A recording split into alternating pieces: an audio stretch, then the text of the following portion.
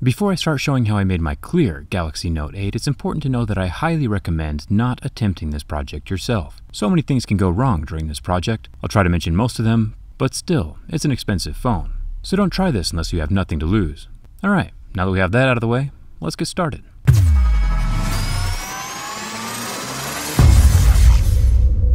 The Galaxy Note 8 is a beast of a device, and just like how most high-end gaming PCs are see-through, I think Samsung should offer a clear version to show off their top-of-the-line components.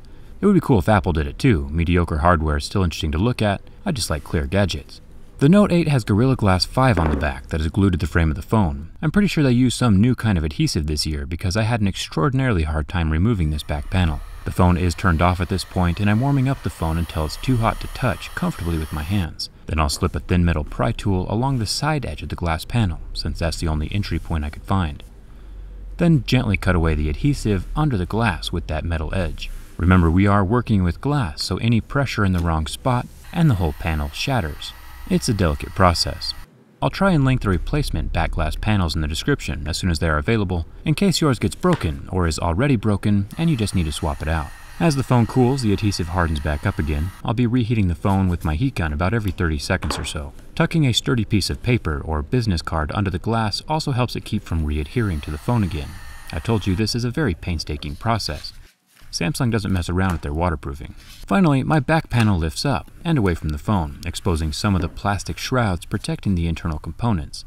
I'll do a full teardown of this phone, talking about the components and the OIS and the cameras, in a future video. One thing I did mess up though was the fingerprint scanner ribbon cable. I managed to slice through that with one of my pry tools. I wasn't planning on using it anyway, but still, I'll try to avoid doing that in the future. The bottom of the phone, over the charging port, has six regular Phillips head screws holding down the plastic. I'll just set those off to the side to keep them organized, and I'll have a toolkit linked in the video description that fits these screws. The top plastics and wireless charging have 10 more screws, the same Phillips head screws we saw at the bottom. It's good practice to lay these out in a way that they go back in the same hole they came from. The wireless charging panel unclips from the metal frame of the phone at this point, and we can see the golden contact pads on the back that transfer the power from the copper coiled inductor to the battery. I'm going to leave my wireless charging intact this time around, and I'll explain more how I do that in a second. The bottom plastics of the phone snap off, exposing the charging port and headphone jack. Things are starting to look how we want them at this point. The loudspeaker's built into the bottom plastics. It's got that water damage indicator on it, I do want a speaker in my finished phone, so I'll cut off the unmandatory part of the plastics, leaving the speaker and golden contact pads intact, with a few of the screw holes, so it can reattach. Perfect. The battery has some separation foam on the back that I'm going to remove, and now we look at the wireless charging itself. The wireless charging has one little niblet up at the top that is a battery temperature sensor. This is excruciatingly important. Without this niblet, your phone will not charge, so this needs to be left intact. Personally, I'm just going to cut around the golden contact pads, leaving everything intact but the plastic. I want all the features to remain functional in this build. I left one screw hole next to the contact pads to hold everything in place, but if you look closely, you can see the leads under the black stuff that go from the battery temperature sensor niblet to the motherboard. So if you are anti-wireless charging, you can just cut around those leads, leaving them intact, like I did with my Clear Galaxy S8. But if you mess up that niblet, your phone will never charge again. My phone is turning on at this point and still functional, so so far so good. Plus it can still charge, which means I didn't damage that battery temperature sensor. Now for the back panel itself, the super strong adhesive that Samsung placed around the outside edge needs to come off. The glass is curved along both sides, and it's glass, so I'm being super careful with it.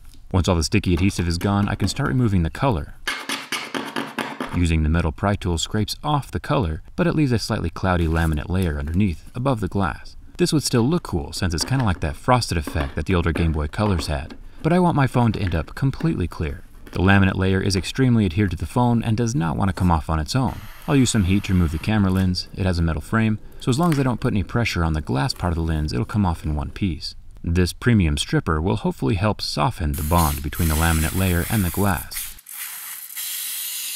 I'll spray the foam over the back panel and let it sit for about 15 minutes. It really helps if you have chemically resistant gloves at this point. You can tell that the stripper started eating through my fingertips on my gloves, so I just rinsed it off and kept going. Once I got a large enough piece of the laminate lifted up, it just peeled away from the glass back entirely.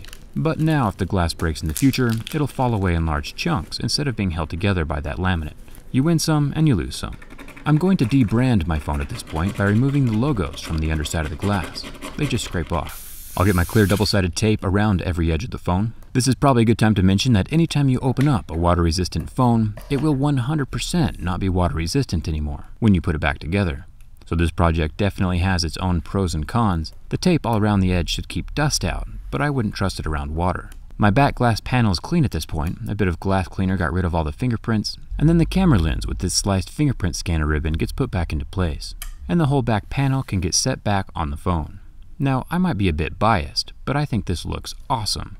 And this is without Samsung even trying. They could take two seconds and design the internals to be viewed from the outside, and it would probably look even cooler, like the black insulation over the copper wireless charging coils. It can be scraped away like I showed in the video I did with what's inside. If Samsung used clear insulation around those copper coils, it would take the aesthetics to a whole new level. I did put my SIM card into the phone and got 4G signals, texts, and phone calls all worked, and even Wi-Fi and Bluetooth were still functioning so everything's working as it should. You can see both camera units, the iris scanner and front cameras, the S-Pen holster, the loudspeaker, circular vibrator motor, and wireless charging pad itself, with, of course, the charging port down south next to the headphone jack. So what do you think? Should Samsung give us a clear phone option? Maybe if there are enough comments asking for it below this video, Samsung will consider it. Share this video with someone you could see rocking a clear phone like this one. Thanks again for watching, and I'll see you around.